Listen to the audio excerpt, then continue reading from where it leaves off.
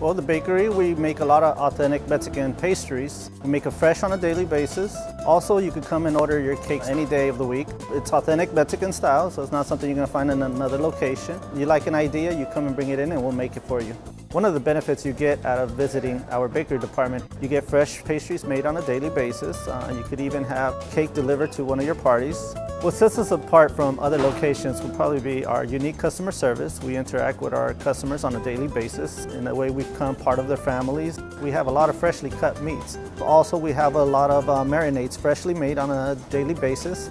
Our staff here at Arteagas Food Centers are trained. They have experience. Uh, a lot of people have worked in multiple locations. They've been here with us for quite a few years now, so they have plenty of experience in customer service and, and with all the product line we carry here.